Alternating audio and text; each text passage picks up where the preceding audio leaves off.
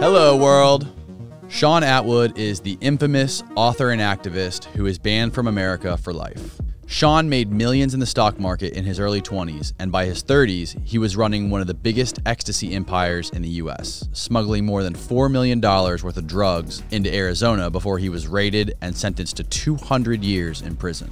Shaun's biggest competitor in the ecstasy business was the mafia mass murderer Sammy the Bull Gravano, whom we talk about on this episode. We also talk about Shaun's views on insider stock market trading, as well as the recent stuff going on with Reddit, Robinhood, and GameStop. Shaun has also done more research on the Epstein conspiracies than probably anyone. He's done hundreds of interviews with his victims and acquaintances, and he talks about his latest discoveries in the subject towards the end of this podcast. This conversation is packed with gems, and I hope you guys enjoy. Please welcome Shaun Attwood.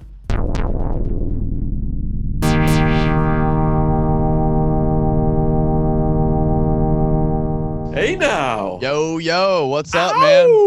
man? Nice to see you. yeah, you too, man. Thank you. Great to see your channel going from strength to strength. How's it going, man? What have you What have you been up to?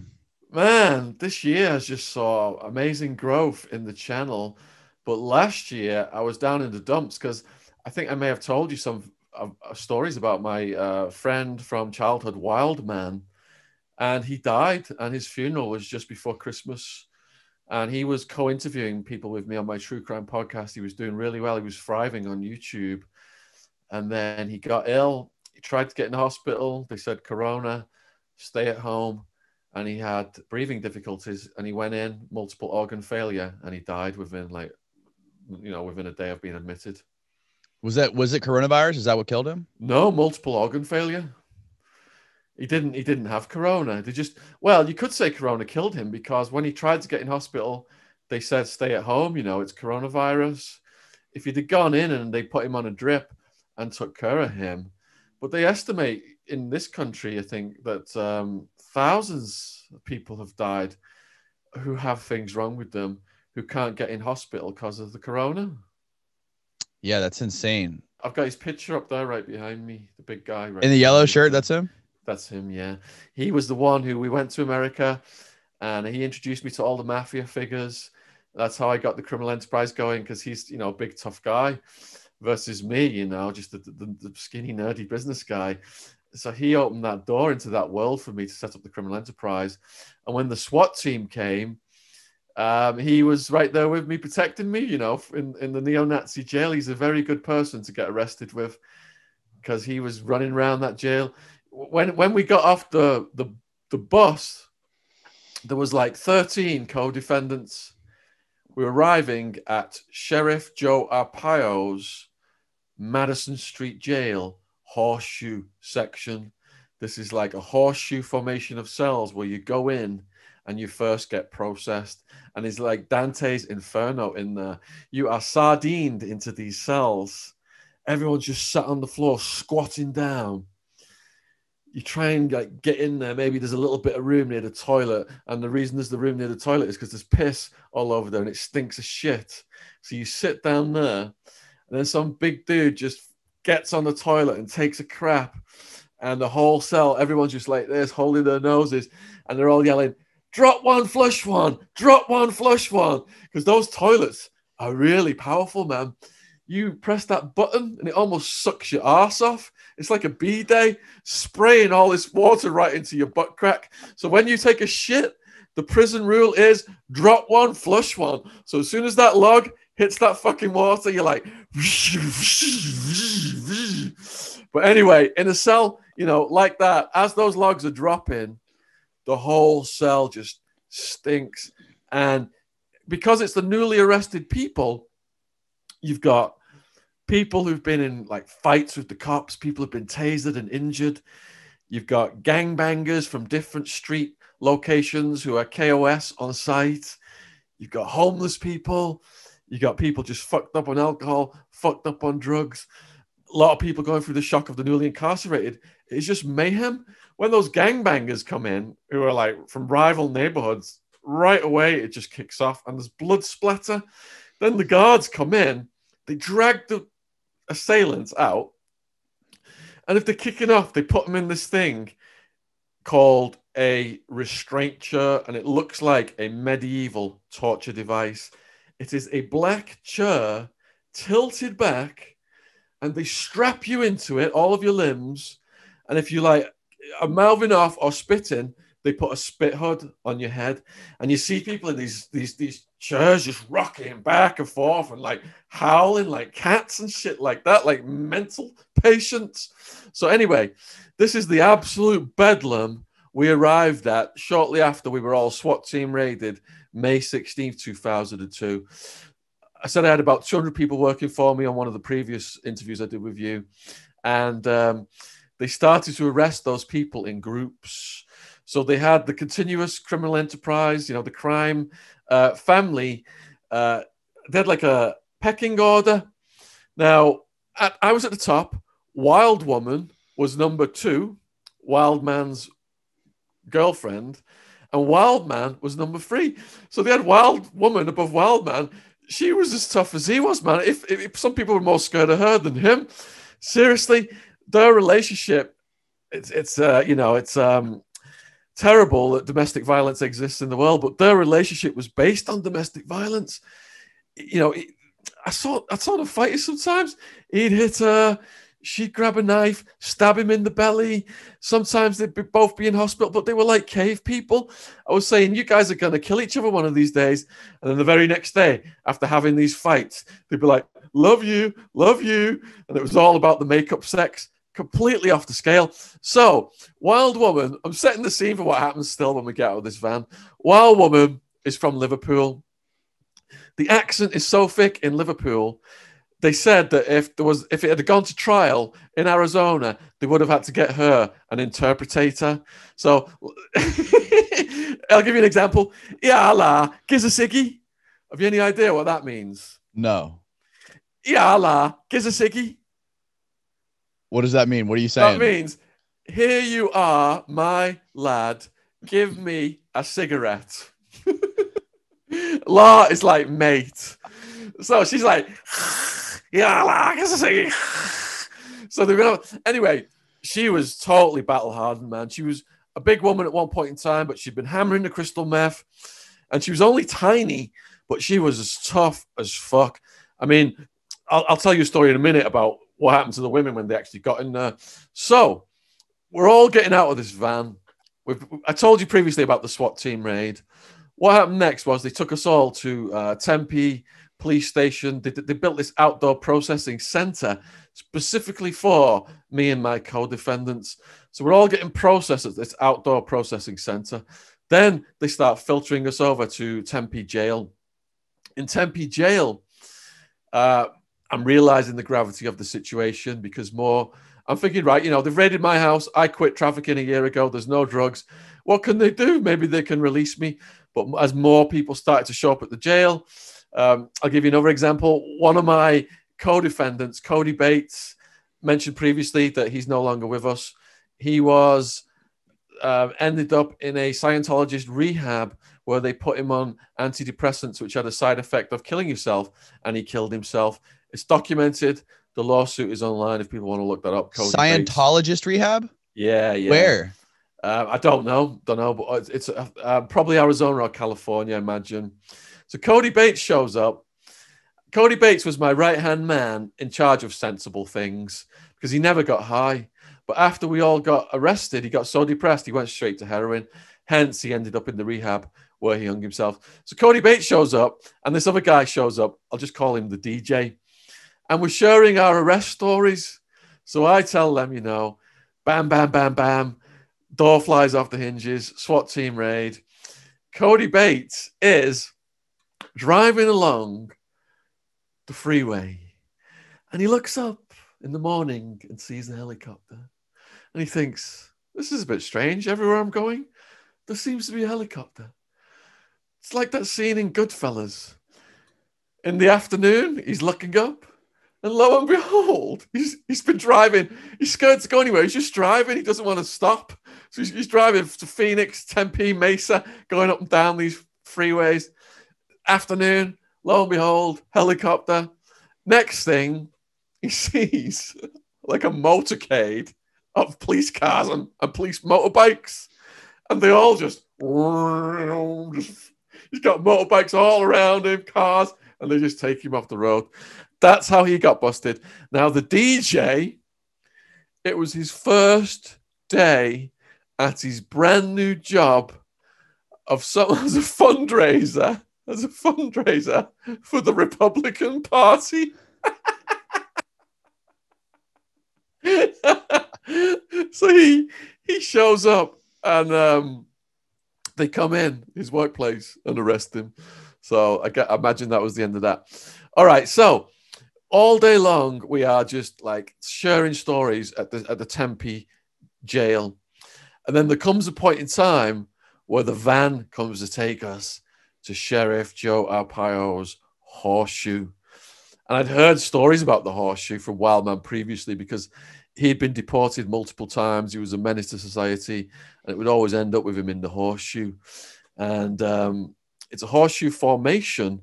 You go in, you go through the cells.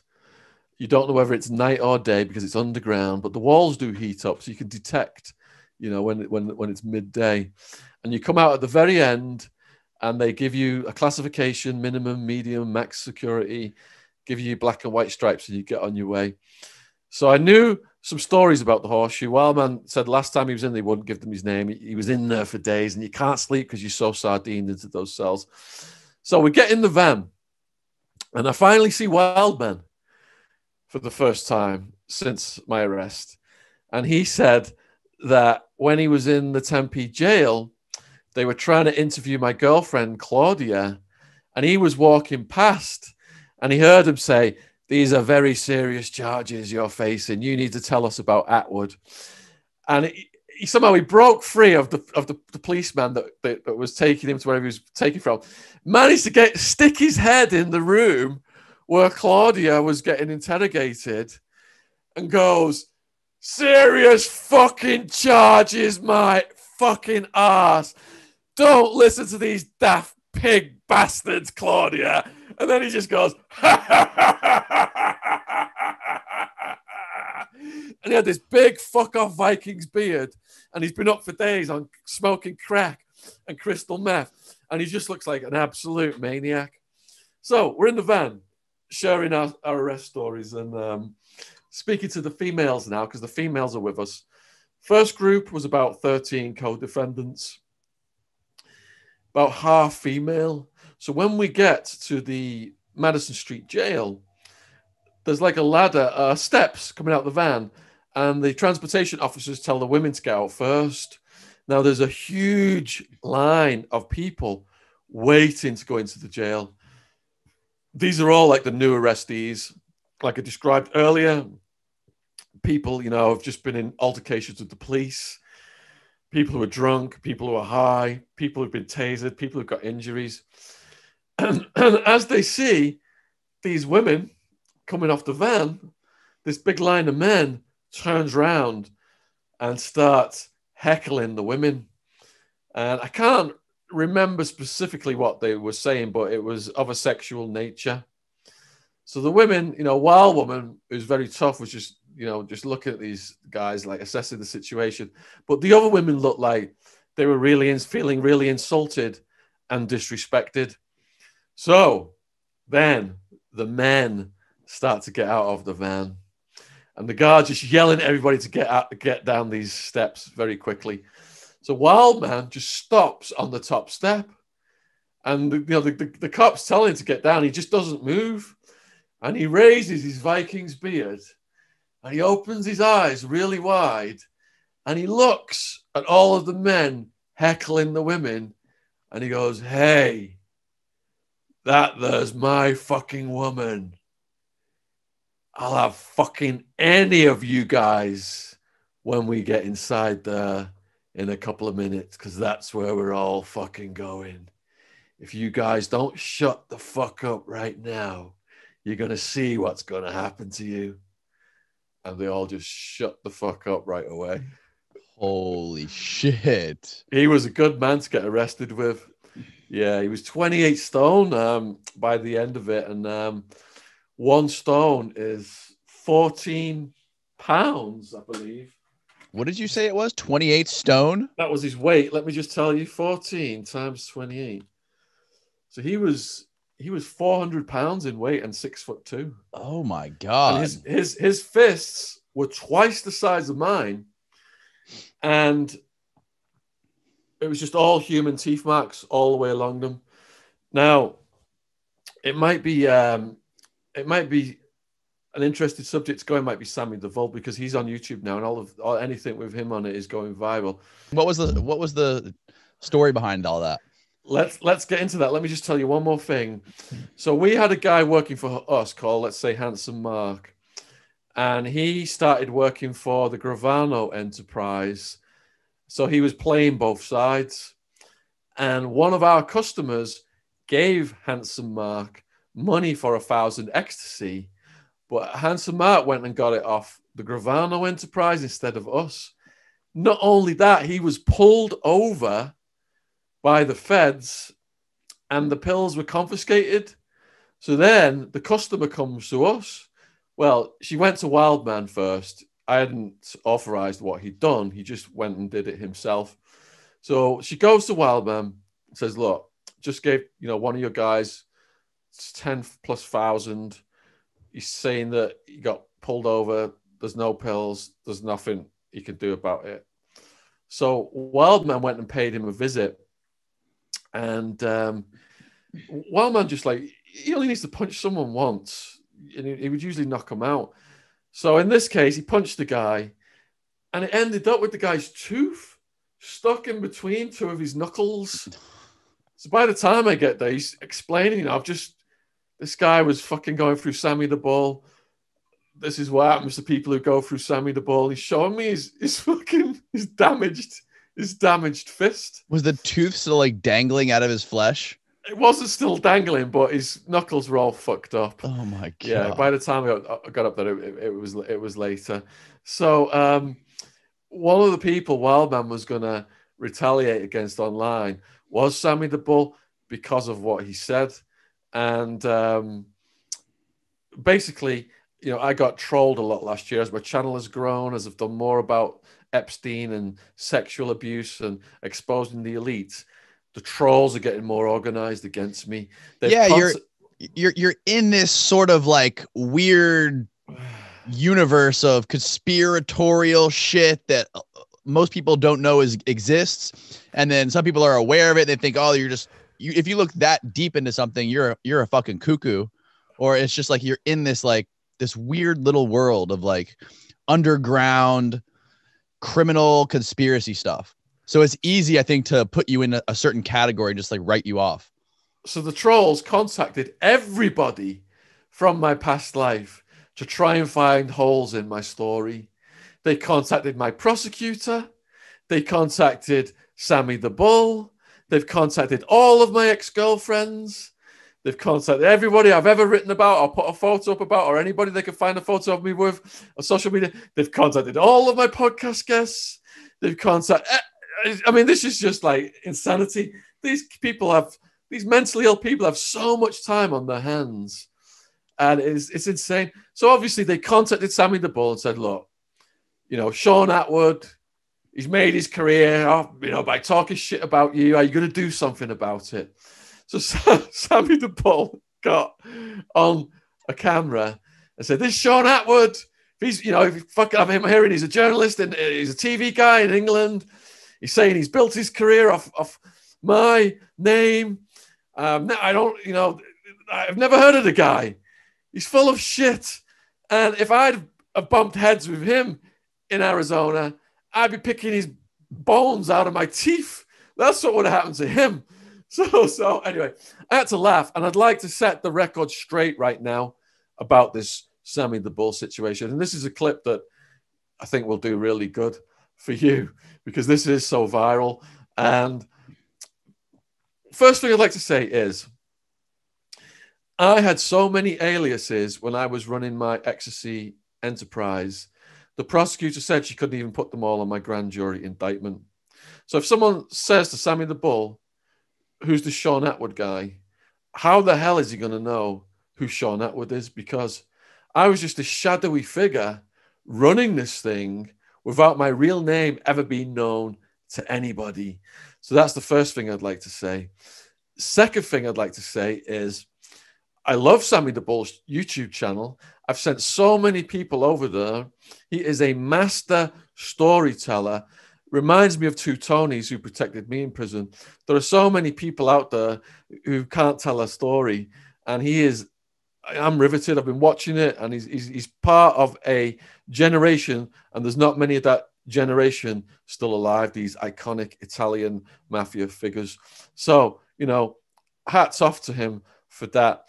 Next thing I'd like to say is that they they handcuffed Wildman to Gerard Gravano in Towers Jail in 2002, 2003, which is Sammy the Bull's son. Now, on the streets, you know, a lot of people have been saying they were working for the Bull, for Sammy. And I think I previously gave you my story of the, the guys I met in Tucson, who my uh, bisexual, lesbian, porn star wife was dating one of their girlfriends. We met them. I sat down with them and I said, It's the feds we need to worry about, not each other. You guys are lighting the place up. Uh, you know, we need you need to chill. And there's plenty of demand for XC. We could coexist. The, the peace didn't last long. My top sales guy, Skinner, one click from the Gravano Enterprise enticed him to a nightclub in Scottsdale under the pretext of doing a deal with him. They took him into the men's room and knocked his teeth out and took all of his uh, money and all of his drugs. And after that, I moved onto that property, Sin Vacas, Catalina Foothills, Tucson, Arizona, in the gated, gated guarded community. So to, of, you know, as an added layer of protection against Gravano's crew. At the same time, I had a female who had penetrated into the Gravano household, was attending barbecues over there, was giving me, you know, the layout. Um, we, we did some drive-bys on the street and um, telling me about, you know, the associates, what they looked like and who was over there, you know, all these steroid head jock guys in the train and the tracksuits, um, sportswear um, at these barbecues with the Gravanos. Um, so that's where it was at on the streets with the Gravanos. And people are saying, because Sammy the Bull is said I'm full of shit, he never knew me. I'm completely making all of this up. But if you go to the police reports, or if you go to the Phoenix New Times article, it says that I was Sammy the Bull's competitor in the ecstasy market. And I had, was established for so long that because I had done it for years, Gravano just came in, lit the place up, got arrested. I made him look like a flash in the pan. Now that's coming from the cops and the local media, and people can, you know, verify that independently. Sammy has recently said that he wasn't even running the Ecstasy Enterprise. So the question is, were all these people working for the Gravano Enterprise just throwing his name out there saying he was the boss? Or, you know, were they actually working for him? And for whatever legal reasons, he's unable to say that. Back to Towers Jail, 2002, 2003. So Sammy the Bull's crew, they get arrested um, a couple of years before my crew. I'm like, thanks, cops. You just wiped out the competition. But all those resources that were on Gravano were then put onto me. Uh, May 16, 2002, that was when the SWAT team came. So they are running through the court process a couple of years before we are. So when the guards knowingly chained Gerard Gravano to Wildman. They did that on purpose because they wanted to see what would happen. They knew there was two crews that had beef on the streets. Now Wildman looks at me like, "What should I do?" And I said, "Because you know we don't want to get any more charges. These guys have probably got some good legal information for us. They're ahead of the curve on this. They've been going through this for a couple of years. We should just sit down with him find out what the tricks are the prosecutors are playing on them, you know, and how all this shit works. And that's what we did. We sat there all night with Sammy the Bull's son um, before we went to our court hearing. And we were fine with him, and I'm fine with him to this day. And the trolls have contacted him too, but he has acknowledged that he does know who I am. And he was sentenced for, as one of the uh, dominant uh, leaders of the ecstasy ring. So it's it's you know it's hundred percent that Gerard Gravano was near the top of whoever was running the ecstasy ring, whether the dad was or whether he wasn't. And prior to us meeting Gerard in the jail, my homie G Dog, who I told you last time introduced me to his brothers in La M.A., where they had the rocket propelled grenade launcher on the TV. G Dog had, I don't know if he'd been a cellmate with Gerard Gravano or he'd gone to, into his cell previously and spoke to him when they first got arrested, this was, and said, Look, you know, don't fuck with English Shaun and Peter because we've got his back. So that's how they knew who, who was protecting us, or at least Gerard did. And then, you know, down the road, I've, I've kept in touch with him um, on email. It's been it's been years now since we had uh, any last communication.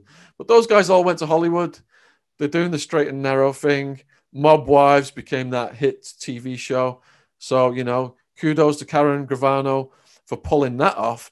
And I've read her book, and I, I, I love her book. And I think what they're doing right now is uh, they're on the positive track. I offered to pay for Sammy the Bull Gravano to fly to London so we could sit down and have a uh, podcast recorded professionally here in London. That would have been a huge thing. Um, and people say, well, you only said that because you know he can't travel because he's got this criminal record. But we did the same thing with John Alite, mafia hitman for the Gambinos. You know, he admits to being involved in multiple murders. And he came to the UK, and me and Wildman sat down with him. And that's one of the most watched videos on the channel. So that offer is still open. Uh, if Sammy the Bull wants to come to London, we would love to sit down with him and get this filmed professionally. And if he's got any questions for me, I'd like to set that record straight because I'm not full of shit. It's fully documented what we've done. And there's, you know, the, the, the police uh, recently, I had to re get my story re-verified through a TV company I'm doing something with. It was already verified by National Geographic. They had to see my paperwork in the beginning for Locked Up Abroad. And I'm looking at the uh, the paperwork recently. It's you know it's right there about some of the witness statements, the 10 witness statements that led to me getting arrested were people who were playing both sides. And oh, they were just working for Sammy, but then they told the cops they were working for me and started to give them all this information up, hoping to reduce their own sentences. All 57 of Sammy the Bull's co defendants agreed to cooperate. We had over 100 and only four agreed to cooperate because we were tight. Wow. Yeah. That's fucking insane. That would be a great yeah. conversation, I feel like, between you and him. Two big competing ecstasy enterprises back in the back in the same era in Arizona. That would be yeah. amazing. Has he has he answered you at all? Has have you reached you've reached out to him obviously? Has he responded? Yeah, I reached out to him through a person who represents him rather than doing any silly online stuff. And that person said presently he's not going to do it. Really? Yeah. Mm. But he said he's focusing on his channel and his channel is doing great. And if you like those old school mafia stories, of, you know, dark tales of, of blood and guts uh, with gallows humor, I urge people to go over to Sammy the Bull's channel and check those stories out. Couldn't you guys just do one of these Zoom things? Yeah, but it's not. You know, all my Zoom things have not been as effective in terms of reach versus having my camera crew there. Yeah, they're not the same. They're just not like it's. It, it's really weird. You can't really like connect and build like a rapport with somebody, and, it, they don't like naturally last as long. Like podcast people come in the studio they always go over two hours, two and a half hours, no problem. But when it's like this, like we always hit a wall for some reason, no matter who I'm talking to on the computer. Staring at a fucking screen, man. It does your eyes in. It does. Yeah, yeah. it really does. So, like, all right, let's go. I want to talk about before you went into the ecstasy business, you were huge in the stock market. You were making millions of dollars, you know, buying and selling and and uh executing stock options now this shit, options. this shit is so confusing. Why is the stock market and obviously it's a it's a huge it's a topical subject right now with all the GameStop stuff going on and and the hedge funds that you know were billions of dollars in the hole because of GameStop. But uh, can you explain for for dummies like myself, what is a stock option and how is a stock option relevant or how is a stock option what is a stock option compared to these bets on companies like GameStop failing when they bet on a company failing like this and, and how does it work? Okay, so let me just say that what I'm about to say, I need to do a disclaimer now because there's laws against giving investment advice. So this is just going to be educational information I'm going to give based on my experience in the stock market from age 14. So I have what 10, 20, 36, 37 years experience in the stock market. I was trading options in my late teens and in my 20s I was a licensed stockbroker. I was a licensed had the options license and I had a branch manager license uh, in the 1990s this was in Arizona working as a stockbroker. So they're my qualifications. So the stock market is an absolute minefield and people who go in who don't have a clue what they're doing will just get their legs blown off very quickly. 90 something percent of new investors just get completely bled dry. So stay away from it if you do not know what you are doing. Stocks, you know, you buy, let's say, Tesla, and it goes up 10%, and you sell Tesla and you make 10% profit let's say you buy Tesla, it goes down 10%, and you sell Tesla and you lose 10% of your capital. Now, with options, if Tesla goes up 10% and you own a call option, it might go up 100% or 200%, depending upon how geared that call option is. If Tesla goes down 10%, you may lose 100% of your investment, depending upon how geared that call option is. Flip that over now to put options. Put options are when you're betting it's going to go down. Tesla goes down 10%, your put option may go up 100%. Tesla goes down 10%. I'm sorry, Tesla goes up 10%, your put option may get be completely wiped out. You may lose 100%. So the easiest way to think of options is as geared investments. When an underlying security moves a fraction of a percent, an option is going to swing wildly depending upon various factors, which include the exercise price, the exercise date, the volatility of the underlying security, and so on and so on. Now, if you want to capitalize on the demise of a company and the fall of its stock price, there are two ways to do it. You either buy put options or you sell it short. So the short sellers on GameStop, for example. Wait, what is the difference between selling it short or buying a put option? So put options are called derivative securities. And with a put option, you you can make a very small investment and and it's so it's geared so tremendously that your capital can go up hundreds of percent very quickly or you can be wiped out very quickly. Now, selling short has got nothing to do with derivative securities. To sell short, you have to pony up the full capital to collateralize that trade. I'll give you an example. Say you're a short seller on GameStop at $5 and you want to sell short 10,000 shares. 10,000 times 5 is $50,000. Depending upon your relations with your broker, is what determines how much you must put up to collateralize that trade. But when I back in the 90s, you had to put up at least 50%. So I sell short $50,000 worth of GameStop at $5 and I put up $25,000 as collateral. Now, the people see that GameStop has got a huge amount of short selling on it. And the people think, hey, this is a good opportunity for a short squeeze. Now, what a short squeeze means is they just buy shares because of the large short interest, knowing that if they drive the shares up, the short sellers are going to get a margin call. And then it becomes a self fulfilling prophecy when they buy their shares back to cover their margin call that it, it sends it even higher and even more short sellers are triggered to buy their shares back. Go back to the guy who put 25,000 down. GameStop goes from five to six. So now he's down 10,000. So his collateral has shrunk to 15,000.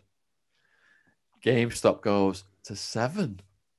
Now his collateral has shrunk to 5,000 because he's down 20,000.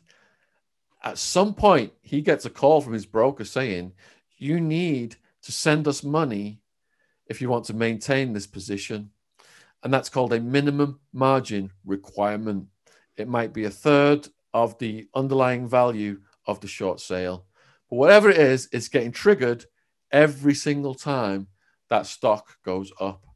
Now, let's say it goes to 10 and he's down 50 grand and he's got no money left. Do you know what he has to do now? He has to buy the shares back and eat the loss. And when he buys those shares back, what does that do? Sends the shares higher. So a guy who got wiped out at 10, he might buy it back, send it, sends it to 11. And then the guys who are wiped out at 11, they have to buy it back and they send it to 12. And then those guys, 13, and off it goes to outer space. And that's exactly what you saw with GameStop. To the moon. To the moon, Alice. oh my God. What was your reaction when you saw this happening? Okay, so I. Um, this is your world, man. This is your, yeah. you used to live in this. I've seen this these things happen so many times, so it was no surprise to me. But what it what it is symptomatic of is a, is an overheating market. So we we saw the Corona crash, then we saw the Feds just put in the mon- monetary methadone, and that as lower interest rates has just sent everything skyrocketing. And then there's a saying in the stock market: when your barber starts recommending an investment it's time to get the hell out because that means there's no more suckers left to put their money in. And that's what we, we've got the froth. We're at the froth level right now. Psychology, however, can take things to extremes. That is why it's so hard to call a top. When I went on True Geordie about three years ago, I said, look, Bitcoin way overvalued. All it is is computer code. I think it's going to go down and it did. It went down to about from twenty thousand to three to four thousand. Recently, it broke back above twenty thousand. Now that's called a technical breakout. And when something does break above an old high, there's no limit as to how high psychology could take it. So we saw it wham right up to 40,000. It's got as high as 44,000 today. Could go to 100. I still think Bitcoin is worthless. This is psychology driving the market. It's a millennial bubble. But how high does it go in the meantime? Because I think it's worthless, do I sell it short at 45,000, at 50,000? No, I certainly do not. Because, like I said, you never know how high it's going to go when psychology takes over. Let's roll the clock back now to Holland.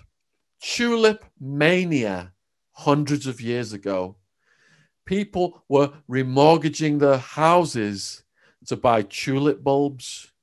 Tulip bulbs were more valuable than gold. And that's just the effects of crowd psychology. If people are interested in this, there's two books I read as a kid. And one is Le Bon, The Crowd, and the other is Extraordinary Popular Delusions and the Madness of Crowds by Charles Mackay. Because when I got interested in the stock market at 14, I went down Widnes Library and ordered dozens of books on the subject.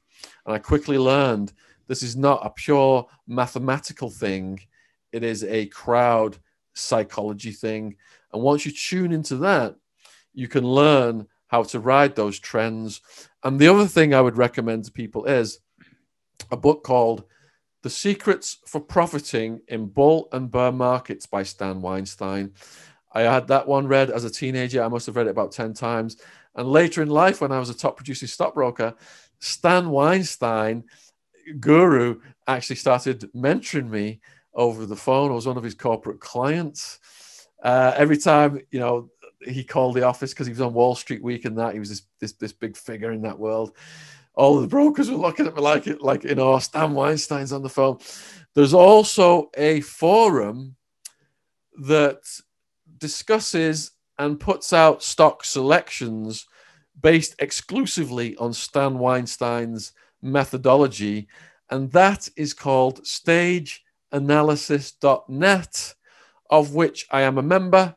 And I think the last thing I posted on that was that Zoom had done a technical breakout uh, around the beginning of the corona. I didn't buy any myself. God, I wish I had.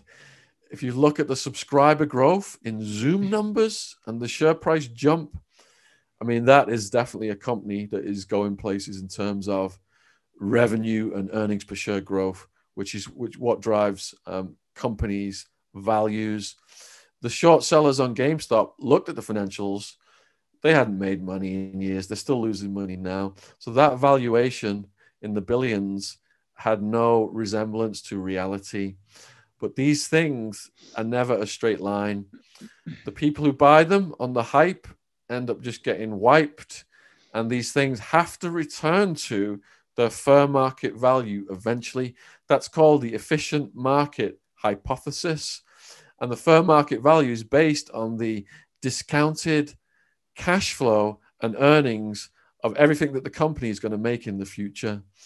And people say, well, look, if the short sellers are buying all the, you know, the short squeezers are buying all the shares, how on earth are the shares ever going to come down?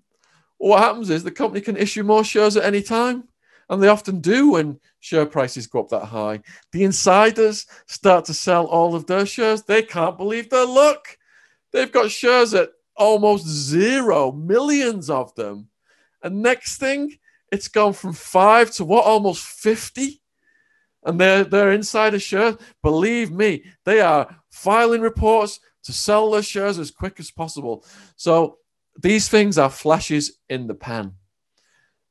Stock market will always go back to a fair market value at some point. But in the meantime, psychology creates these huge swings, which, if you can read the trends and forecast the trends, you can capitalize on those swings. Why do you think Bitcoin is worthless? Don't you think the concept of Bitcoin and having a currency that's not able to be manipulated by the federal government or by billionaire hedge funds, billion dollar hedge funds. Don't you think that's a good idea? Absolutely. I completely agree. So, what is the value of a commodity? You know, um, exchange value, um, industrial value, portability, transferability. Now, and supply so look at the value of gold. You know, there's only much, so much supply of gold in the world. Look at the value of, uh, you know, any other precious asset. Bitcoin has the flagship factor, but anyone can create a cryptocurrency. So the supply is potentially unlimited for people creating cryptocurrencies. Surely someone else can create a cryptocurrency with all the same exact same attributes as Bitcoin. Mm-hmm. The supply is potentially infinite. It's not something you're mining out of the ground that industry is going to use that has this actual value. And you know, eventually the governments will capitalize on that um, weakness in cryptocurrencies, I believe, to bring the values back down. Well, yeah, you know, I'm I'm not a fan of the government. I'm all for it, everything that you just said, but I just think that it's a psychological bubble created by millennials and uh, perpetuated by millennials and it, it's going to have to come crashing down at some point. But right now, it is on a red hot. It's going to the moon, Alice. Yeah, it's at like forty-two thousand last time I checked. I think it was this morning. It's Yeah. insane. Yeah, yeah. And I mean, I've- I've even talked to you know lots of Bitcoin experts, and they all say don't invest in it. Just use it as something to you to you know if you can do transactions with it casually. You know what I mean? Not if you think about a lot of people say if you think about investing in Bitcoin, just just picture yourself throwing it away or lighting that money on fire. If you want, if you wanted like if somebody owes you some money for a service and they they happen to have Bitcoin, ask them to pay you in Bitcoin. But don't take a bunch of your money and put it into there because it's basically just like burning it. I saw that news story recently. I think it was the German authorities arrested a fraudster that had like tens of millions of Bitcoin, and he wouldn't give them the password, so they can't access it. But they've they've kind of like done something so he can't access it either. Huh. Yeah, Yeah, that's a cool thing about Bitcoin. The government can't take your money away no matter what you've done. Yeah, Yeah, I like that. You talked about there was like a wake up moment for you when you were in the stock market that kind of brought you into this world of activism and being outspoken about America's darkest, dirtiest secrets. And that yeah, was the, the, the 9/11. 9/11 insider options trading. Yeah. Can you break that? I know you've talked about it before, but for people that are watching this one, can you kind of like break down like how you experienced that and, and how you discovered everything that went down? Yeah, so eh, I've already explained what a put option is. Right. Just to clarify, in case you're going to make a clip, a put option is a derivative security whereby if the underlying security moves a small percentage, the put option will move a massive percentage. And with puts, you're betting that the underlying security is going to go down. It's the opposite of a call option. In the days before 9 11, the average daily volume of the put options on the airlines went through the bloody roof. When 9 11 happened and the stock market was halted and the stock market was reopened days later and the underlying securities had collapsed, those put options had gone up thousands of percents. Small investments were worth millions. It was headline news. It's on YouTube. You, you can find it about insider option trading. And the guy said on the headline news in America, this has to be the terrorists. The only people who could possibly know were the terrorists. This is insider terrorist trading. These trades will be traced and we will find out who these bastards are. Paraphrasing, of course. So it completely disappears out of the news. Now, you know, options is something I've been on for many years of my life. I'm thinking, what is going on with this? This is insane. I've never seen anything like this before in my life. Headline news, push, gone. Years later, I'm in a maximum security Madison Street jail, Phoenix, Arizona, reading a book by David Icke, I think. Perhaps Alice in Wonderland, 9 11. And his, his research had found that those trades had been traced to a brokerage that was run by ex CIA. So not only had they known about it, they had profited from it. Everybody who knew about those trades at the time was visited by the feds and deputized, which meant if you ever speak to these trades about anyone outside of this interview today, you are going to prison for years of your life. So that completely, I mean, if people Google it, I've not put out all the names involved, but if people Google it, you can see all the names involved. I don't want to get it too complicated for people, um, but it gets really deep. Now, is there actual proof that there's ex CIA people that were in charge of the banks that were doing these trades? Oh, yeah. Is Oh, this yeah. some like because I know David Icke, he I mean, talk about being connected to some batshit craziness. I know he's connected to some crazy shit. Yeah, I agree 100%. that Every time you see him and his name that people are talking about reptilians and stuff. I agree 100% that David has some conspiracy theories that people would consider crazy, but this has been verified by a number of other independent researchers as well. Okay. Um, it's been discussed on RT quite a lot, and um, I urge people to go on, go online, and check it out themselves.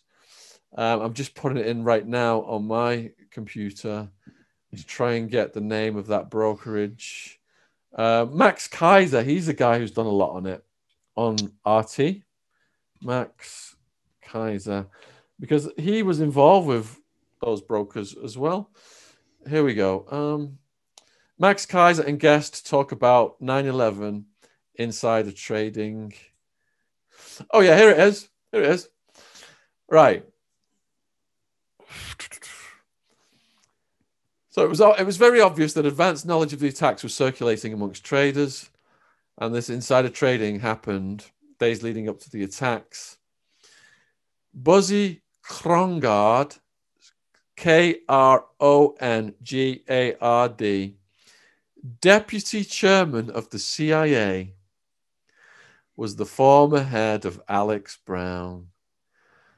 And Alex Brown was the company that had I think the majority of the options transactions went for them. This says, I used to work for Buzzy, Alex Brown. I still keep in touch with my former colleagues, some of whom were buzzing about the action in the put options on the airlines. Additionally, a company I started in LA, a dot com, had been sold to Wall Street brokerages a few months before the attacks. And the company had relocated their acquisition to the top floor of the World Trade Center. I was in touch with employees who were also buzzing about the put option frenzy in airline stocks and they cited Alex Brown as, as a major source. I urge people to research it. Um, there's a lot more names involved, there's a lot more companies involved, and there are some articles that really lay it down, but just off the top of my head right now, I can't find them. It's fucking crazy, man. It's that shit is some that's some terrifying stuff, and and no one, it's something that no one really talks about.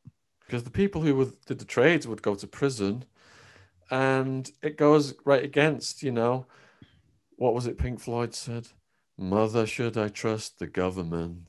the government does not want you to hear it. Mainstream media is owned by, you know, the same corporations who own the government. There you go. You're not going to get it apart from independent researchers here and there. My whole like overview of this whole situation with the stock market is that the normalization of the internet and everyone having access to so much information and everyone just living on these on these devices 24 7 it's made it's made it harder for the government and corporations to keep secrets. You know and it, it's kind of it's made everything more transparent which is made like previously like if you even go 10 years ago when or 20 years ago when no one had iphones or people weren't living on the computer on, online i'm sure far less far less people understood the stock market than they do today. And now, because of something like this, because now you have this crazy news story about a bunch of kids on Reddit that are manipulating and making these people lose billions, now everybody wants to learn how the stock market works. And it's gonna it's gonna shine a light on all this shady shit that happens all the time. That's normal for the stock market. Okay, so what you said about technology advancing is true, but with the stock market, there's nothing new under the sun. So when you see this deluge of novices wanting to learn about the stock market, we saw exactly the same thing during the dot com bubble. And we know when that deluge happens that the stock market is getting near a top because who's left to buy after those, what the professionals would view as idiots? Once that last wave of money comes in from your barber, from your granny, from you know whoever little reddit investors once all that money's in who else is left then to sell shares to because the insiders are constantly unloading stock on novice investors it's a disinformation game when you read something in uh, online or in a financial publication that says this company's doing great you should buy shares in it that information is being put out there because someone is trying to sell you the shares.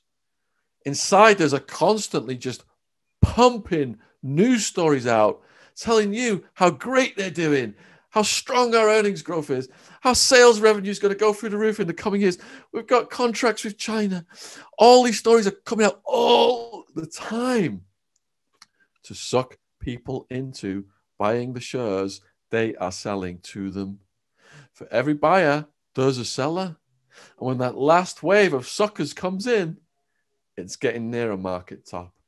And those people, you know, your barbers, your shoe shine person, when they get wiped, they'll go back to doing what they're doing and they'll wish they never got involved in the stock market in the first place. I see it over and over again.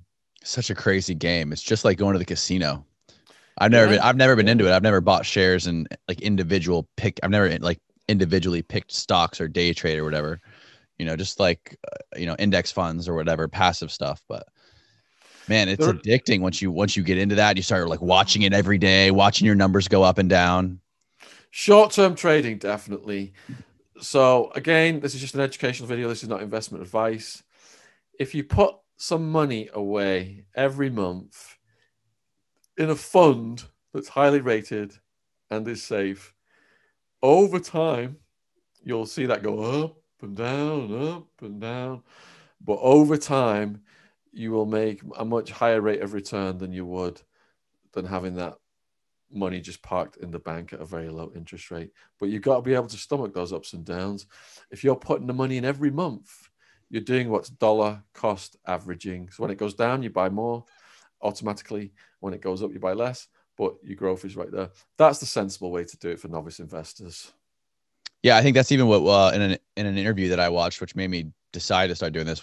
Warren Buffett. They asked him what he would do if he was not in his position or whatever he would do. He said "The biggest return with the least downside is put all my money in in, in the S&P 500 over whatever however many years 50 60 70 years you're not going to lose on that because the S&P 500 is the biggest corporations who are run by the biggest psychopaths who are getting the biggest government contracts because of that thing called bribery! Oh sorry political contributions. That's what keeps all that in motion. That's another thing is is politics is becoming so much more transparent. People are uh, like media like we're doing now like politicians are able to go on here and and talk to people for hours.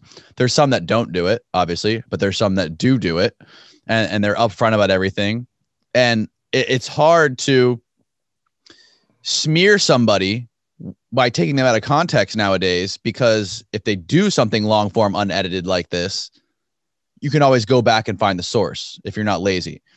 So I, feel like that's changing too. And I don't, I just, I guess I'm optimistic about the future of like politics and and corrupt institutions of this country now that everything is becoming more transparent it seems like in the last couple years yeah but look at those of us who are exposing the corruption and what we're having to go through you know, ranging from trolls to black uh, ops level stuff to take us down. Look at what Julian Assange is going through. He sacrificed his life to shine a light on that corruption, to get to the truth. Uh, once you get so many followers, they take you out, don't they? Or they destroy your character. They used to assassinate you, but now they destroy your character or they put you in prison and give you a life sentence or they just hold you indefinitely like Julian Assange. So they still, the old guard still have techniques to combat what's going on with technology. And look at the Great Wall of China. Look at how, you know, those poor bastards over the, the, the suppression of information that's going on. So I don't want to be uh, too negative here, but yeah, that's that's my response to that. No, and, and another thing, it's it's also insane to realize looking at the state of America right now and look at everyone's view on China. Like everyone, like I think by and large, the general view of China over here is like China is this crazy communist place. There's no freedom, you know, all the protests that are going on, all the terrible things that happen in China. But look how old China is. I had a guy on here that was recent, recently telling me a story how he was over there doing a tour and someone was showing him a mill or something like an old mill that that made that made some sort of fabric or whatever. And they're like, you see that thing? That thing's older than America. and he's like, what America's going through right now, China went through thousands of years ago. So I, I don't know. It's just, it, it puts everything in such perspective to realize how, you know, it's an ancient civilization with so much history and they've arrived where they are now. But look at some of the modern cities now. They look like uh, things from Flash Gordon, don't they? They're so advanced. Yeah. So Maxwell. Yeah, let's talk about Ghislaine Maxwell. Last time we talked about Ghislaine Maxwell, uh, she had, I think, just been arrested, and we were kind of, you were kind of uh, telling your thoughts on what you think was going to happen to her. A lot of what we said has unfolded. When Maxwell got arrested, the more conspiratorial were saying that the fix was already in. You know, she would get a pass somehow and she would be let off so as to not name all of these people, her co conspirators, royalty, people at the head of business, etc. But we've seen in the courts, month after month, motion after motion go against her. She offered a multi million dollar bail bond package, and the judge shut that down. She revealed that she's she's married, and I think it was 25 million, and the prosecutor said, you know, she's got multiple citizenship, France, uh, Israel, the UK, and that money you know, if she's facing life sentence, she could just easily walk away from it. We don't know how deep her pockets are, but we believe the money that she said her husband was putting up was her money in the beginning. So, you know, it's probably chunk change to her uh, with her assets she's got around the world. Then we saw, as well as the denial of the bail bond, which has been going back and forth, we saw the authorities putting increased pressure on Prince Andrew to cooperate in this, and he's still reneging. And towards the end of the year, we saw two other huge players, one in the Epstein case, one in the case of his own. I'm talking about Jean Luc Brunel. Jean Luc Brunel got arrested in France. Epstein had boasted he had slept with over a thousand girls from Jean Luc Brunel's pipeline from Europe to America including 12 year old triplets. And he was laughing at what good oral sex they had given him on his birthday as this present from Jean Luc Brunel. So I've been doing a series of interviews with a guy called Fred on my channel. He's out of France. He might be a good one for you to get on, who's an absolute expert in Jean Luc Brunel. So he's at the forefront of this group of activists in France who are exposing this bastard. Virginia has said that at the orgy on the island, in which Prince Andrew was participating, this is Virginia's words, in which Maxwell was participating and Epstein, that they were joking that these girls that Jean Luc Brunel had sent over were the easiest ones. They couldn't even speak any English. And they were from these poor families in Eastern Europe. Jean Luc Brunel was running a modeling agency, and you know they tell these girls we're going to launch a career, come with us, and next thing they're getting sex trafficked. So the French authorities as well are leaning on Prince Andrew to give information. Now, is Prince Andrew, you know, and these other big names, the sleeve Maxwell's got up her, the card that Maxwell's got up her sleeve? Even if she does, it would be in the interest of national security to prevent that information from ever coming out. We're talking about Bill Clinton, Prince Andrew, multi billionaires, uh, Leon Black. It's come out since our last interview. Uh, gave Epstein 150 million. So Epstein, when he died, his net worth was around half a billion.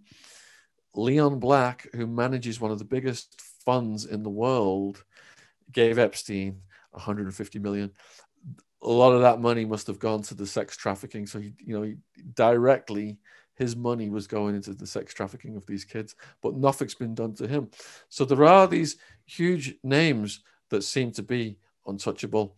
So the trial is scheduled for this summer. And what Maxwell has been doing is going to court every month and trying to increase her plea bargaining power. Because right before the trial, each side then will try and get together and based on the plea bargaining power of the defendant, a deal will be agreed to avoid trial. I think that is the most likely outcome. It might not necessarily happen right before this summer trial date because that summer trial date is like a musical chair. They could push that back three months, six months. They can keep going with that. But at some point, I believe that Maxwell will have to take a plea bargain. So, what does that mean? She has to take a plea bargain. Let's say she'd won all of these motions and she had a really strong plea bargaining power just before the trial they might offer her like five to 10. So she gets up in front of the judge, shows remorse, and she's got all these mitigating circumstances. The judge has had a nice breakfast that day. He's not, you know, he's in a good mood. The judge might sentence her to the lower end of that range. So if she's got five to 10, judge might give her six years. If she's going to court every month and all the motions are going against her, and more witnesses are found, and more charges are added to the indictment, she is losing her plea bargaining power. So by the time it gets to trial, they may say, look, the position you're in right now, the best we could do is offer you 15 to 20. Now she's going to say, right, 15 to 20. If I get 15, it's the feds. I serve 85% of that time. You know, the best years of my life are over. So I'm going to roll the dice and take it to trial. And I'm going to name these people. But at that point, the intelligence agencies would come in and say, look, national security, you can't go there. So these are the forces behind the scene at play. I've interviewed various people, and they believe that Maxwell is sat on the biggest treasure trove of political capital in the history of the world in terms of who Epstein filmed or recorded having sex with these trafficked girls. So if if you know if she, if she's got stuff on the Clintons, um, royal family members, whatever it is, if she feels so trapped that she's going to lose the rest of her life, she might want to activate that treasure trove and use that as some kind of bargaining power. But Biden has come in. So we've seen the changing of the guard in the White House. Biden and the Clinton crime family are like that. So we believe that Biden coming in will benefit Maxwell because that information will not be allowed to come out under a Biden presidency with him at the top of the feds. And again, just like the title of part one, there's always the possibility that Maxwell will get Epstein. What are they doing supposedly to prevent that? She has a whole floor of the jail to herself. Yep. She's not in a general population of prisoners. She's asked to be moved to a general population of prisoners so she can be around people and have those benefits. But because of the nature of her crimes, the inmate population is likely to, at the very least, attack and extort her, or maybe even possibly kill her. She's been checked by guards continuously. She's saying that you know they're waking her up when she's asleep, checking that she's still alive, and the place is cameraed up like crazy. Just this week, her she started to fight back, and her lawyers filed something in the courts, and they're saying that the only reason that she's been arrested was because of the failings in the Epstein case, because of his death. And that embarrassed the government. So, to show that they're doing the job, they've gone after her. And she should have been arrested a long time ago if they had a case against her. But I don't buy into that at all. When they arrest someone in a case of this magnitude and complexity, the bureaucracy is very slow but it keeps going and going and going and going. And they gather more and more information, they get more informants, they get more conspirators on, on the indictments. And that's how they build these complex cases up. I mean, my case was classified as a complex case, over 100 people. It, it took about, um, I didn't do my plea bag until the beginning of the third year. They were still arresting people then. So these things can go on and on and on. Um, but even though it is a very small chance it will go to trial, I would love to see that. Because if Maxwell did name some big names at trial, certain government agencies would then have to take action upon those names. But it won't get there. She will be silenced either legally or she will be Epsteined. Do you think Jeffrey Epstein's still alive? You know what? Lin Wood sent some stuff about that. It went quite viral on my channel um, in January. And um, I wouldn't rule out that he's, you know, he could be down on some island with Kenneth Lay, who was George Bush Jr.'s biggest political contributor at some point. You know, really? Was, yeah, yeah. The guy behind the Enron fiasco. Yeah, was George Bush's single biggest contributor at some point. That, that, that it's a crime family.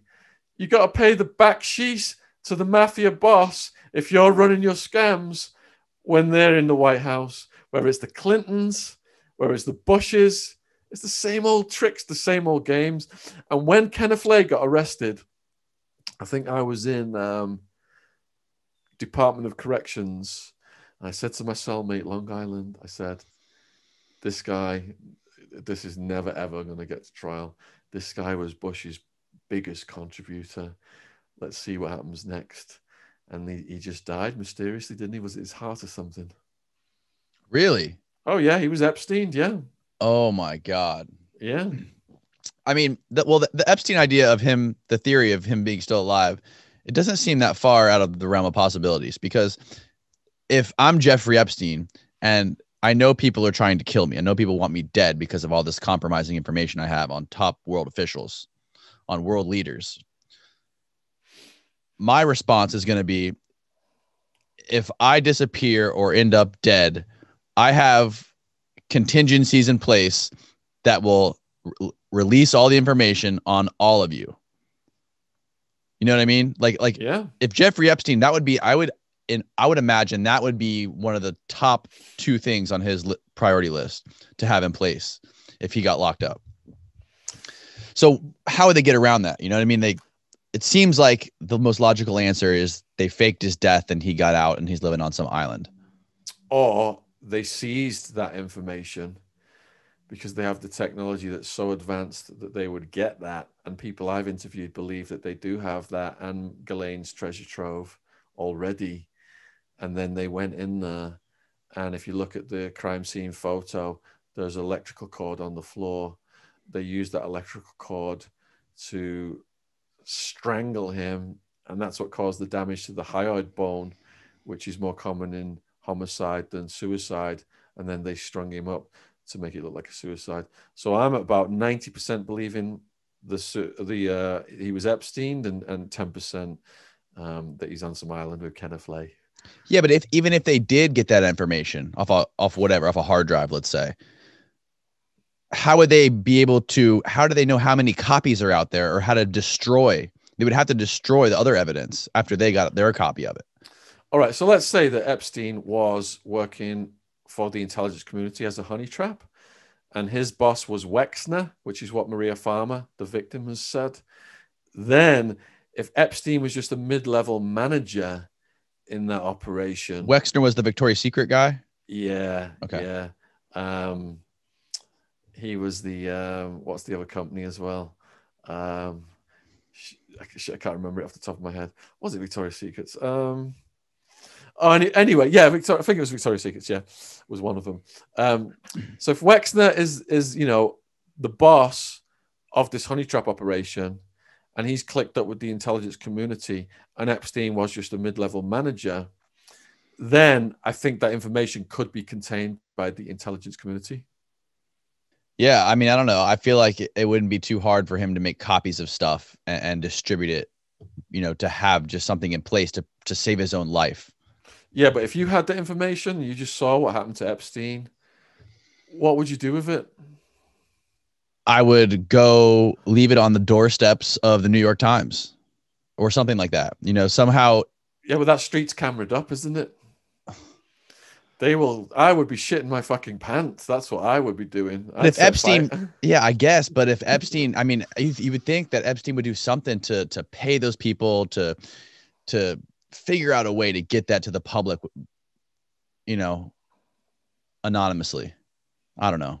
I think it would have happened if they had that balls to do that and they had Yeah. the information. I think someone would have released something. Yeah. I think it's been contained Mm. Because they've got all the money and all the technology in the world against little players. So nothing's gonna happen to her. Maxwell will do some prison time because she's going to have to. She. Other, otherwise, um, everyone's going to just say there is no fucking justice in the world. How can this Right. woman Right. who trafficked hundreds or maybe thousands of victims and participated in sexual assaults get a pass because she's buddy with Prince Andrew and Bill Clinton? Right. She's going to have to do something, and the, the lawyers are going to say, "Look, you know that this is so serious. These charges are so serious. You've got to do some time." It's just how much she does. Mhm. It's a, so. Are you every day online, just like keeping track of every document that's filed? You can't are, even, I can't even take a break. The minute I try and take a break, there's breaking Epstein news. It's the case that never goes down because there's so many people involved and it's spreading. Jean Luc Brunel, Maxwell. Oh, the other guy I forgot to mention was, was Peter Nygard, who was doing these pamper parties. He was drugging girls up, taking their passports, and raping them anally after they'd been, you know, promised these jobs as, as models and whatever. Again, another good old pal of Prince Andrew. Um, he's been down there on the island. And this guy's own sons are in the indict, uh, charging him with sexual, they were sexually abused. The dad thought it was a good idea, a rite of passage, to have a sex worker fuck his teenage sons so that they were no longer virgins.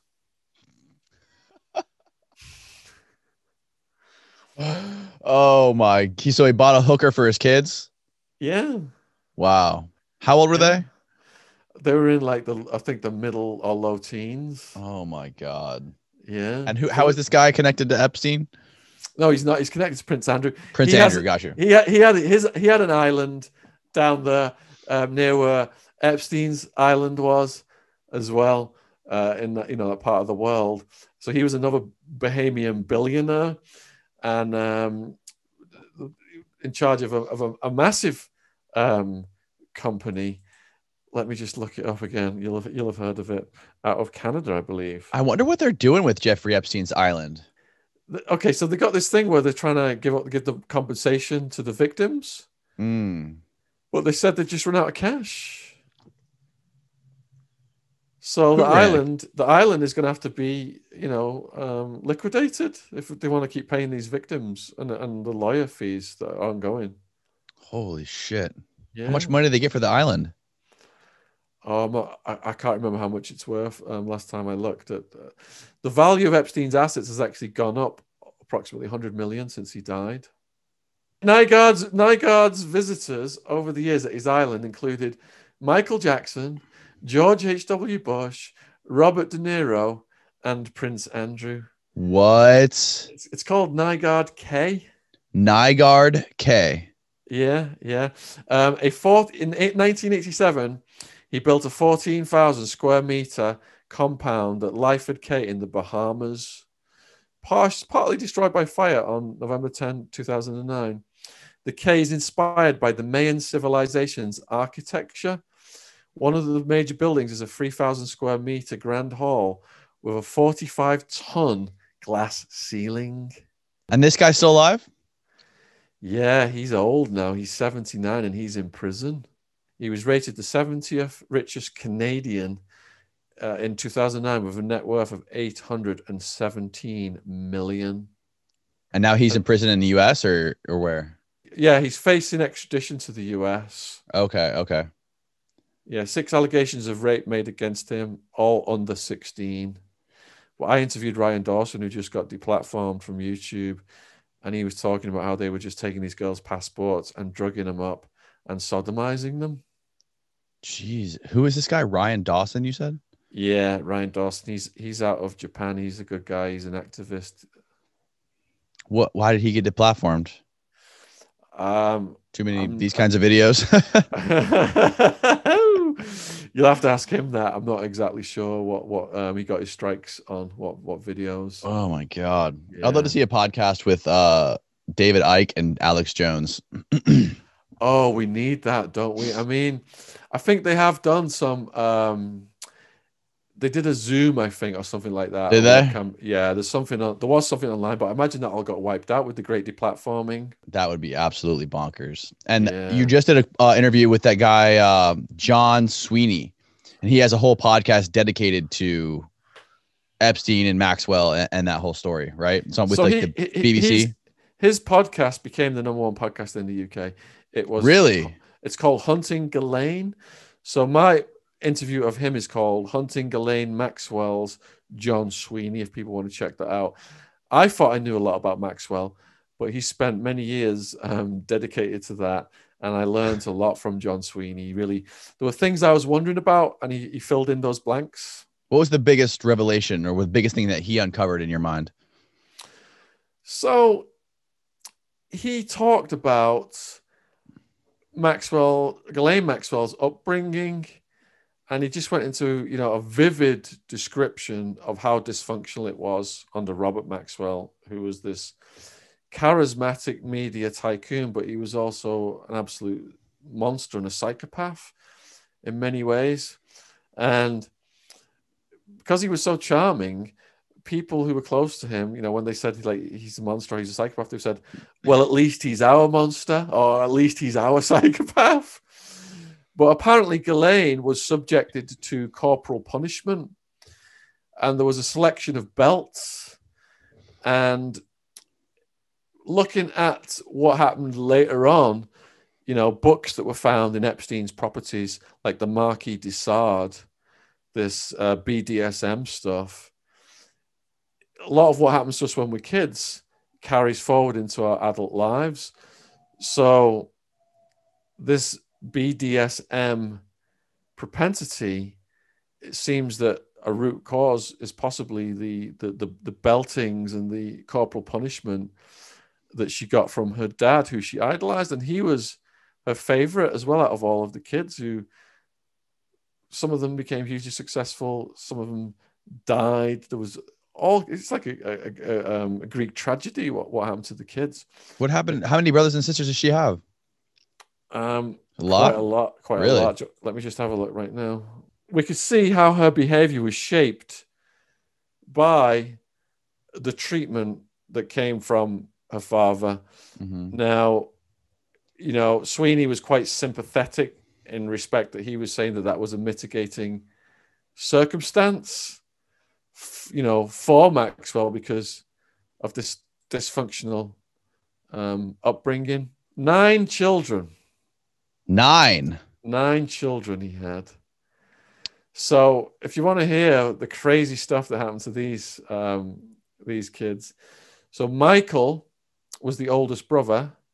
He fell into a coma aged 15 after a car crash in 1961 and died eight years later, having never regained consciousness. So imagine you're Ghislaine and your brother is just on life support and he can't even communicate with you. So that is really sad. Eight years.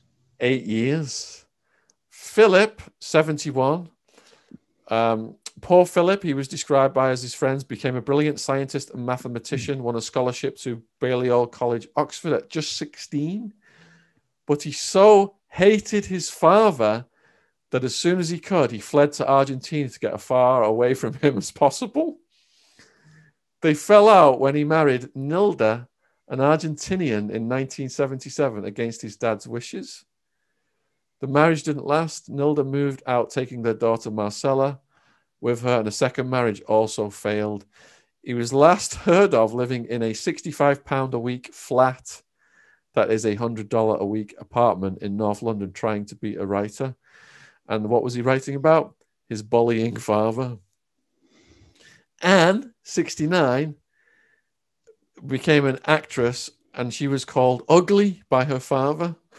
God.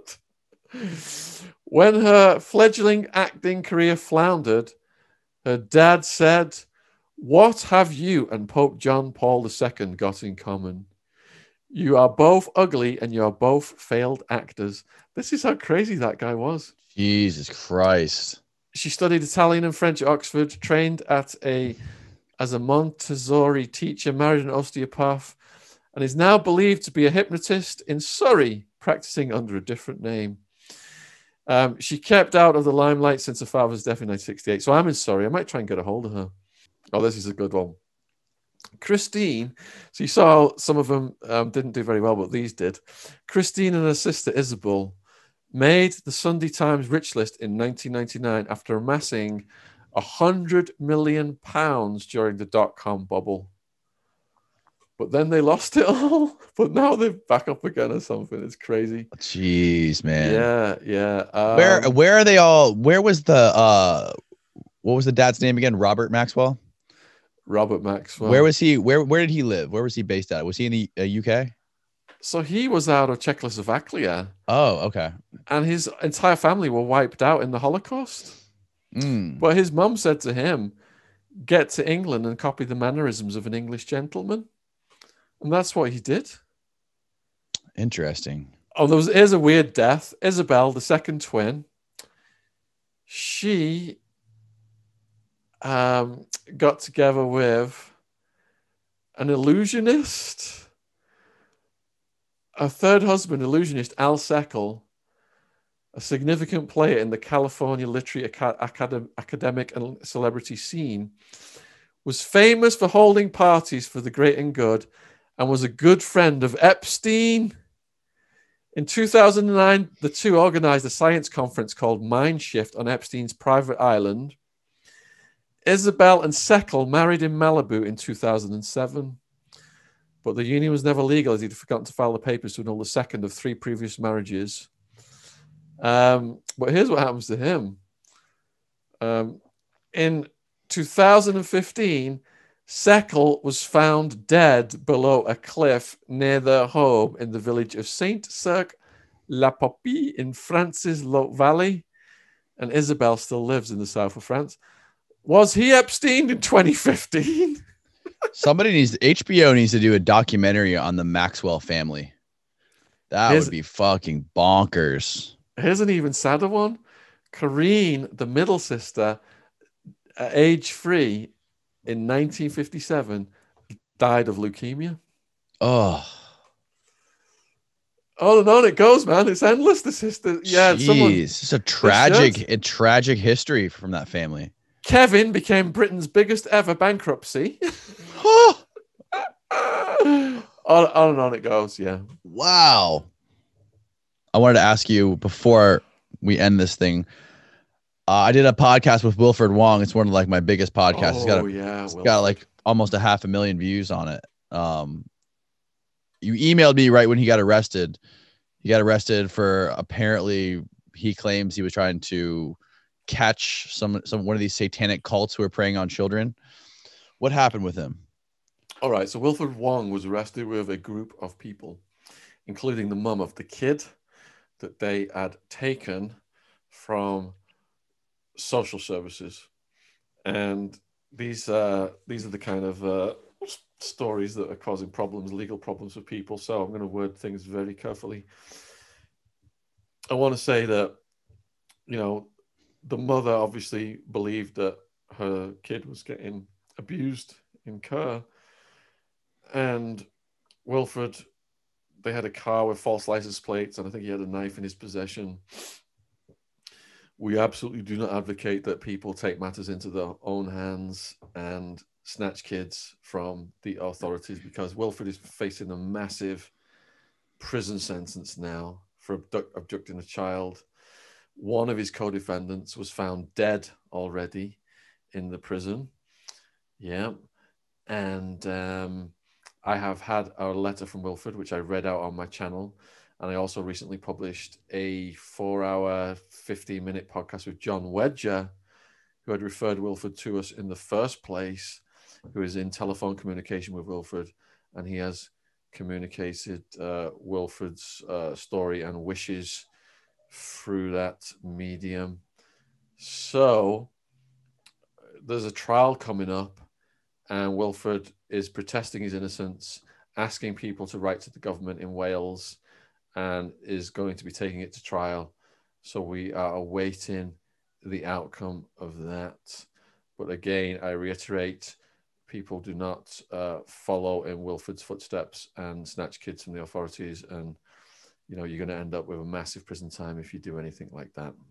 Yeah. The, the one thing that I was, that I questioned about Wilfred, I know a lot of people talk about the SRA and the satanic ritual abuse that, that happens, but the weirdest thing was there's no solid evidence of it ever happening. There's no like footage or video or, or anything. And he's like a, like a, a very, devoted Christian, right? Like he, he's he's very involved in like a like a bunch of Christian organizations and does a lot of work within that religion, which it, it just seems interesting that he's so devoted to catching these Satanists. There are some cases documented that people can find online of people who've been charged with crimes that were a part of satanic rituals, mm-hmm. but it's not, you know, everyday an everyday thing that we see. Correct? Yeah. Right. I mean, is there is there any actual like video or footage? I know there's like the whole Bohemian Grove thing where where uh they, they had like a fake child's body or fake body or whatever that they were sacrificing. But is there ever has there ever been any actual evidence found? Well, there's all kinds of things available online showing macabre crimes, um, snuff movies, red rooms. There's all kinds of horror story stuff going on. And perhaps, you know, people who believe in good and evil would say that that you know those are satanic enterprises in themselves but i know what you're saying like like there's people there's people who love the theatrics of it of, yeah, of worshiping definitely. the devil. You know what i mean? Definitely. it's it's a fun thing for some people. Like there's metal bands who who sacrifice fake people on stage and people think it's exciting and fun and whatever. It's rebellious isn't it for young people yeah. well to do you know gothic and uh, yeah. yeah. So you know how much of it is out there i have no idea. I'm no expert on this subject. Mm-hmm. yeah but it's fun to it's fun to uh, investigate and talk about. It certainly is. Yeah, I've, I've interviewed quite a few people on it. Cool, man. Well, thank you for doing this. Uh, I wish we had longer, but this was super exciting and fun. It's always cool. a pleasure. Any uh anything specific we want to talk? You want to uh have people go to like any specific videos you got going on or well any you know, new books? If, if you if you put the link to my channel in the description box, that's the thing I appreciate the most. It's free to subscribe to my channel we're almost at coming up to 700,000 subs now. Really appreciate all the people who've jumped on there. And I've got about 15 books available. They're available worldwide on Amazon. Just put my name in S H A U N A T T Wood. Whether it's you know my jail story or stuff we write about the CIA and Epstein. New book coming out about Epstein, who killed Epstein, Prince Andrew or Bill Clinton. We're gonna have Prince Andrew and Bill Clinton on the front cover of that. That's fucking great. Um, other than that, you, you, know, if it's just going from strength to strength, um, just putting, we're doing a, a, weekly live stream right now called Attwood Unleashed with some of this more sensitive content. And we've got two true crime podcasts um, coming out every week, one on Monday night and one on Thursday night as well. So all on your main channel, the Shaun Attwood channel. All on the main channel, and uh, okay. you know, Danny, just really appreciate uh, you having me on, and uh, it's always a pleasure.